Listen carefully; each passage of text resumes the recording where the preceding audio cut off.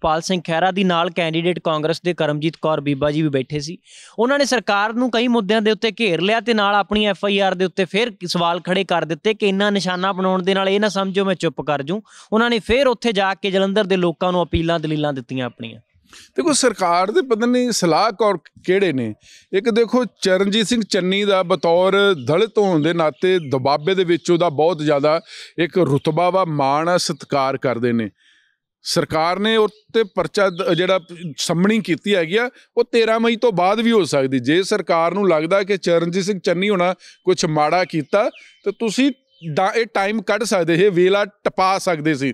ਪਤਾ ਨਹੀਂ ਸਰਕਾਰ ਦੇ ਕਿਹੜੇ ਸਲਾਹਕਾਰ ਸਾਰਾ ਜਿਹੜਾ ਦਬਾਬੇ ਦਾ ਦਲਤ ਵੋਟ, ਖਾਸ ਕਰਕੇ ਰਵਿਦਾਸੀਆ ਭਾਈਚਾਰਾ, ਜਿਨ੍ਹਾਂ ਦੀ ਸ਼ਰਧਾ ਡੇਰਾ ਸੱਚਾ ਬੱਲਾ ਵਾਲਿਆਂ ਤੇ, ਜਿਨ੍ਹਾਂ ਦੀ ਸ਼ਰਧਾ ਚਰਨਜੀਤ ਸਿੰਘ ਚੰਨੀ ਤੇ।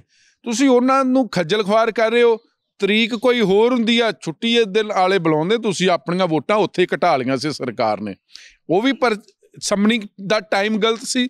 ਸੁਖਪਾਲ ਸਿੰਘ ਖਹਿਰਾ ਦਾ ਵੀ ਟਾਈਮਿੰਗ ਗਲਤ ਹੈਗਾ ਜਾਂ ਤੇ ਤੁਸੀਂ ਪਰਚਾ ਉਦੋਂ ਹੀ ਕਰ ਦਿੰਦੇ 10 ਤਰੀਕ ਨੂੰ।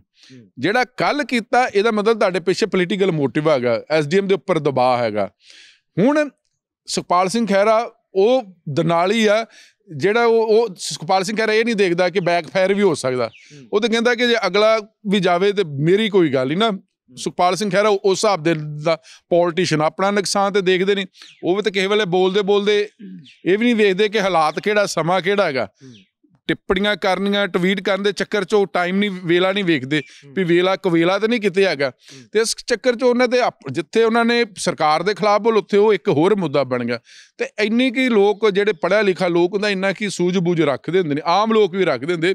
ਵੀ ਪੀਐਸਡੀਐਮ ਦੀ ਪਹਿਲਾਂ ਦੇ ਪੋਲੀਟੀਸ਼ੀਅਨ ਇਹਨਾਂ ਦੇ ਖੁਦ ਦੇ ਜਿਹੜੇ ਆਮ ਆਦਮੀ ਪਾਰਟੀ ਦੇ ਐਮਐਲਏ ਨੇ ਉਹਨਾਂ ਨੇ ਡਿਪਟੀ ਕਮਿਸ਼ਨਰਾਂ ਦੇ ਖਿਲਾਫ ਐਸਡੀਐਮ ਦੇ ਖਿਲਾਫ ਡੀਸੀ ਦੇ ਖਿਲਾਫ ਐਸਐਸਪੀ ਦੇ ਖਿਲਾਫ ਸ- ਸਾਰਿਆਂ ਨੇ ਸ਼ਿਕਾਇਤਾਂ ਕੀਤੀਆਂ ਸੀ ਸਪੀਕਰ ਸਾਹਿਬ ਨੂੰ ਕੁਲਤਾਰ ਸਿੰਘ ਸੰਧਵਾ ਸਾਹਿਬ ਨੂੰ ਕਿ ਸਾਨੂੰ ਉੱਥੇ ਬੰਦਾ ਸਤਿਕਾਰ ਨਹੀਂ ਦਿੱਤਾ ਜਾਂਦਾ। ਤੇ ਜੇ ਇੱਕ ਵਿਰੋਧੀ ਧਿਰ ਦਾ ਐਮਐਲਏ ਉਹ ਐਸਡੀਐਮ ਨੂੰ ਫੋਨ ਤੇ ਕਹਿ ਰਹੇ ਕਿ ਮੈਂ ਆਹ ਕੰਮ ਜੇ ਨਾ ਕੀਤੇ ਮੈਂ ਧਰਨਾ ਦੇਣਾ ਕਿ ਇਹਦੇ ਚ ਗੁਨਾਹ ਕੀ ਹੋ ਗਿਆ? ਇਹਦੇ ਚ ਐਸਡੀਐਮ ਨੂੰ ਕਿਹੜਾ ਧਮਕਾ ਦਿੱਤਾ ਗਿਆ? ਜਨਤਕ ਤੌਰ ਤੇ ਇੱਕ ਵੀਡੀਓ ਵਾਇਰਲ ਹੋਈ ਹੈ ਕੋਈ ਅਫੈਂਸ ਬੰਦਾ ਨਹੀਂ ਹੈਗਾ। ਤੇ ਜੇ ਇਹ ਮਨਸ਼ਾ ਹੈਗੀ ਹੈ ਤੇ ਇਹ- ਇਹਦਾ ਮਤਲਬ ਫਿਰ ਸ- ਤੁਹਾਡੇ ਐਮਐਲਏ ਵੀ ਗਲਤ ਆ ਗਏ ਨੇ ਜਿਹੜੇ ਰੋਜ਼ ਹੀ ਐਸਡੀਐਮ ਨੂੰ ਧਮਕਾਉਂਦੇ ਨੇ ਸਾਨੂੰ ਕੁਰਸੀਆਂ ਨਹੀਂ ਮਿਲਦੀਆਂ ਸਾਨੂੰ ਟਾਈਮ ਨਹੀਂ ਮਿਲਦਾ ਹੈਗਾ। ਫਿਰ ਕਿਉਂ ਰੋ- ਫਿਰ ਕਿਉਂ ਰੋਂਦੇ? ਫਿਰ ਕਿਉਂ ਕਹਿੰਦੇ ਵੀ ਸਾਡੇ ਕਹੇ ਤੇ ਐਸਡੀਐਮ ਲਾਇਆ ਜਾਵੇ ਸਾਡੇ ਕਹੇ ਤੇ ਐਸਐਸਪੀ ਲਾਇਆ ਜਾਵੇ? ਸਿਆਸਤ ਦੇ ਵਿੱਚ ਇਹ ਹੁੰਦਾ ਹੀ ਰਹਿੰਦਾ ਹੈਗਾ। ਇੱਕ ਨੰਪਿਰਤ ਪਈ ਆ ਪੁਰਾਣੀ ਪਈ ਆ ਕਿ ਜੇ ਸਰਕਾਰ ਦੇ ਐਮਐਲਏ ਆ ਤੇ ਠੀਕ ਹੈ ਜੇ ਆਪੋਜੀਸ਼ਨ ਦੇ ਐਮਐਲਏ ਤੇ ਉਹਨਾਂ ਨੂੰ ਨਜ਼ਰਅੰਦਾਜ਼ ਕਰੋ। ਪਰ ਆ ਜਿਹੜੇ ਦੋ ਜਿਹੜੀਆਂ ਟਾਈਮਿੰਗ ਆ ਤੀਜੀ ਨਵਜੋਤ ਸਿੰਘ ਸਿੱਧੂ ਦੀ ਸਿਕਿਉਰਿਟੀ ਬਰਕਰਾਰ ਨਹੀਂ ਰੱਖਣੀ ਹੈਗੀ। ਉਹ ਵੀ ਸਰਕਾਰ ਦੇ ਖਿਲਾਫ ਜਾਊਗਾ। ਪਤਾ ਨਹੀਂ ਭਗਵੰਤ ਮਾਨ ਸਾਹਿਬ ਜ਼ਿਆਦਾ ਬੀਜੀ ਨੇ ਜਾਂ ਉਹਨਾਂ ਦੀ ਸਲਾਹ ਕਰਨ ਨੂੰ ਇੰਨੀ ਜ਼ਿਆਦਾ ਪੋਲੀਟੀਕਲ ਤੌਰ ਤੇ ਸਮਝ ਨਹੀਂ ਹੈਗੀ। ਉਸੇ ਚੱਕਰ ਦੇ ਵਿੱਚ ਸਰਕਾਰ ਆਪਣਾ ਨੁਕਸਾਨ ਵੀ ਕਰਾ ਸਕਦੀ ਹੈਗੀ ਔਰ ਜਿੱਥੋਂ ਦਾ ਸਰਕਾਰ ਤੇ ਕਿਉਂਕਿ ਚਾਰੇ ਪਾਸੇ ਘਿਰੀ ਨਾ ਸਰਕਾਰ ਲੋਕ ਵੀ ਪਰੇਸ਼ਾਨ ਹੈ ਲੋਕਾਂ ਦੀਆਂ ਉਮੀਦਾਂ ਬਹੁਤ ਜ਼ਿਆਦਾ ਜਿਤਾਤੀਆਂ ਸੀ ਉਹ ਪੂਰੀਆਂ ਨਹੀਂ ਹੋ ਸਕਦੀਆਂ। ਅਕਾਲੀ ਦਲ ਹਮਲੇ ਵੱਖਰੇ ਕਰ ਰਿਹਾ ਬੀਜੇਪੀ ਵੱਖਰੇ ਕਰ ਰਹੀ ਆ ਕਾਂਗਰਸ ਵੱਖਰੇ ਕਰ ਰਹੀ ਆ ਇੰਡੀਵਿਜੂਅਲ ਵੱਖਰੇ ਹੋ ਰਹੇ।